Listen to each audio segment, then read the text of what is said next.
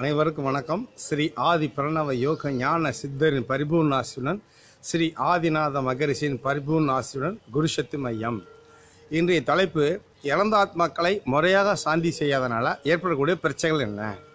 இதுவரையிலும் இந்த உலகத்தில் இந்த தேதி வரலும் இறந்த ஆத்மாக்கள் முறையை யாரும் சந்தி செய்யலை சாந்தி செய்யலை. நீங்கள் பார்த்தீங்கன்னா அடிக்கடி ஜாதகம் பார்க்கும்போது இறந்த பாதிக்குது பாதிக்குதுன்னு தான் வரும். ரெண்டு சக் ரெண்டு விஷயத்துக்கு சொல்யூஷன் கிடையாது. ஒன்று தீய சக்திக்கும் இன்னொன்று நான் இறந்த ஆத்மாக்கள் அப்போ நல்லா கவனிய இறந்த பற்றி இப்போ பேச போகிறேன் இந்த பூமியில் ஞான நிலை அடைந்த மட்டுமே மறுஜென்மம் எடுக்காமல் முக்தி அடைகிறார்கள். ரைட் மற்ற அலை மற்ற எல்லாமே எப்படி இறக்குறாங்கன்னா இந்த பூமியில் மூன்று உலகம் இருக்குது அருள் உலகம் இருள் உலகம் மருள் உலகம் இருக்குது இந்த பூமிக்கு மேலே இருக்கிறது ஆவிகள் உலகம். அதுக்கு மேலே இருக்கிறது பித்திரு உலகம். அதுக்கு மேலே இருக்கிறது தெய்வ உலகம். அதுக்கு மேலே இருக்கிறது சித்தர் உலகம். அதுக்கு மேலே இருக்கிறது ஞானி உலகம். அதுக்கு மேலே ஆண்டு உலகம். ஏழு உலகம் இருக்குது பூலோகம் ஆவி உலகம் பித்ரு உலகம் தெய்வ தேவதை உலகம் தெய்வ உலகம் சித்த உலகம் ஞான உலகம் ஆண்ட ஏழு உலகம் இருக்குது இந்த பூமியில் மூன்று உலகம். இந்த பூ பூலோகம் மூன்றாக பிரிக்கப்படுகிறது. அருள் உலகம் இருள் உலகம் மருள் உலகம். அருள் உலகம் என்பது அதாவது ஞான நிலையந்த மட்டுமே மறுஜென்மம் எடுக்க முக்தி அடைகிறார்கள். சரி அருள் உலகம் என்றால் என்ன? அப்படின்னா நம்ம பரம்பரையில் வயசாக இறக்குறாங்க.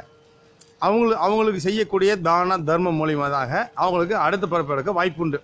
அவங்க இருக்கிற அருள் உலகம். மருள் உலகம் அப்படின்னா விதிக்கப்பட்ட நாளில் சாவு திடீர்னு தேடி வருது. எப்படி தேடி வருது? ஆக்சிடென்ட் சாவுறது மறந்து கூட சாவுறது அபார்சன் ஆகிறது.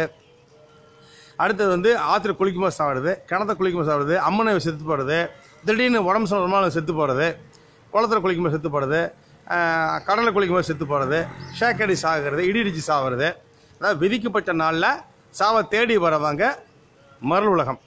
விதிக்கப்பட்ட நாளில் சாவை தேடி போகிறாங்கல்ல அவங்க யார்? அப்படின்னா தூக்கு போட்டு சாவறது மறந்து சாவறது மனநதி கொளுத்திக்கிறது விஷம் குடித்து சாவறது கடலை குதிச்சிடுறது குழந்த கருக்களை செய்கிறது குழந்தை வேணான்னு அபர்சம் பண்ணுவது ரெண்டாவது வந்து க- குடும்ப கட்டுப்பாடு பண்ணுறது இந்த இந்த ஆத்மாக்கள் இருக்காங்களே இவங்க இருள் உலகத்தில் இருப்பாங்க. இந்த மருள் இருள் உலகத்தில் ஆத்மாக்களுக்கு இதுவரை முறையை யாரும் செஞ்சு செய்யலை. நீங்கள் பார்த்தீங்கன்னா இறந்தவங்களுக்கு நீங்கள் கன்னி தெய்வம் வச்சு கும்பிட்றீங்க. அவங்க கன்னி தெய்வம் இறந்தவங்கள கன்னி தெய்வம் வச்சு கும்பிட்றீங்க. கும்பிட்டு இருக்கிறது தவறு தவறு. அந்த ஆத்மாக்கள் நீங்கள் அடுத்த பிறகு அனுப்பணும் யார் அப்படி செய்யறதில்ல. அப்படின்னா நல்லா கவனிச்சுங்க. நீங்கள் செய்யக்கூடிய மகாலய அமாவாசை இந்த தை அமாவாசை புரட்டாசி அமாவாசை மூணு அமாவாசை பார்த்தீங்களா? இதெல்லாம் இந்த ஆத்மாக்களுக்கு பத்து பர்சன்ட் தான் கொடுக்கும். நீங்கள் ஆத்மா சாந்தி போகிறோன்னா அதோட விட்டுறணும் ஏன் மாதம் மாதம் செய்கிறீங்க தெரியாமல் செஞ்சுருக்கீங்க. ஓடு ஓடுன்னு ஓடிட்டு இருக்காங்க. ராமேஸ்வரம் போகிறாங்க காசி போகிறாங்க கயா போகிறாங்க கொடுமுடி போகிறாங்க பவானி போகிறாங்க ஸ்ரீரங்கம் போகிறாங்க ஆத்மாவோட சாந்தி பண்ணிடணும்? அதோட முடிச்சிடணும். திருப்பி திருப்பி ஏன் சாமி தர்ப்பணம் பண்ணிட்டு இருக்கீங்க? அதாவது நமக்கு ஒரு ஒரு வருஷம் முந்நூற்றறுபதுனா ஒரு வருஷம். இறந்தவங்களுக்கு ஒரு நாள் ஒரு வருஷம். அதனால தான் இந்த மூணு நாள் சாப்பாடு ஒரு வருஷத்துக்கு அவங்க ஒரு நாள் சாப்பாடு போகணும்னு சொல்கிறாங்க இப்போ இறந்த ஆத்மாக்களை இதுவரை யாரும் முறையாக சில ஆணித்தரமாக பேசுகிறேன் அவங்க நம்ம ஊரில் இருக்க நான் செஞ்சுட்டேன்னு சொல்கிறீங்கன்னு வச்சுக்குவோம் இருக்கிறாங்கன்னு அடையாளம் என்ன தெரியுங்களா?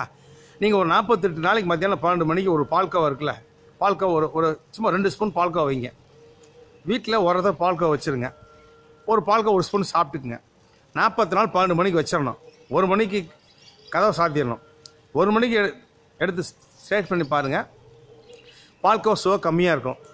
நான் சொல்கிற மாதிரி செஞ்சதுக்கப்புறம் நான் என் மத்தியில் குரு சொன்ன மத்தியில் செஞ்சதுக்கப்புறம் நாற்பத்தொம்பதாம் டெட் நீங்கள் அந்த பால்கோவா எடுத்து சாப்பிட்டு பார்த்தால் வச்ச பால்கோவை என்ன டேஸ்ட்டோ அதே டேஸ்ட் டேஸ்ட் மாறாமல் இருக்கும்.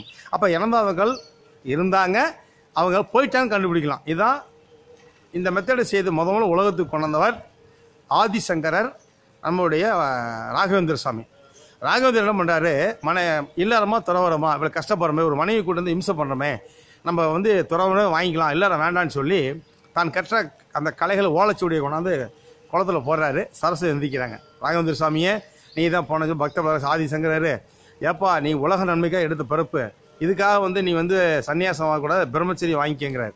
அம்மா கலைவாணி நீ சொல்லும்போது எனக்கு என்ன அப்படி என்ன பண்ணுறாரு குருநாடு போய் நான் துறவரம் வாங்கிக்கிறேன் பிரம்மச்சரியம் வாங்கிக்கிறேங்கிறார். இங்கே வாங்கினதுக்கு போனதுக்கப்புறம் கேள்விப்பட்ட மனைவி என்ன பண்ணுறாங்க பேசிகிட்டு இருப்பாங்க அவங்க பையனோட. ஒரு அம்மாவோட பேசிகிட்டு இருப்பாங்க. இந்த பையனை பார்த்துக்க நான் எங்கள் அம்மா வீடு போறேன்னு சொல்லிட்டு போகிறாங்க போகும்போது கிணத்த பார்க்குறாங்க கிணத்துல போய் செத்து போயிடுறாங்க. இவர் உட்காந்து ஜெபம் பண்ணும்போது அந்த ஆவி நிற்கும் ஆவி உள்ளே வர முடியாது. அந்த ஆவி அப்படியே நிற்பாங்க தப்பு செஞ்சிரு சரஸ்வதி. ஆமாம் தப்பு பண்ணிட்டேங்கிறாங்க. உடனே தண்ணி எடுத்து தெளிச்ச உடனே அந்த ஆவி பறந்துருச்சு. நீங்கள் ராகவதி படத்தில் பார்க்கலாம். அது மாதிரி உங்கள் பரம்பரையில் உங்கள் வழி உங்கள் அம்மா அப்பா வழி. மனைவி மனைவி அம்மா அப்பா வழியில் அகாலந்த ஆத்மாக்களை முறையாக முறைப்படி செய்தவர் ஆதிசங்கரர்.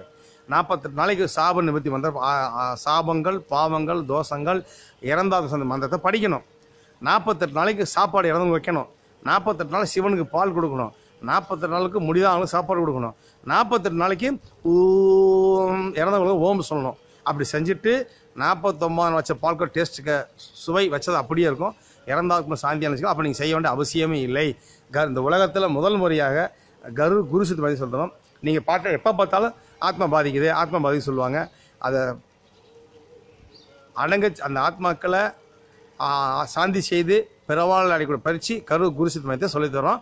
எழுநூற்றி தொண்ணூறு நானூற்றி அறுபத்தி மூணு எண்பது எழுபத்தி ஒன்பது.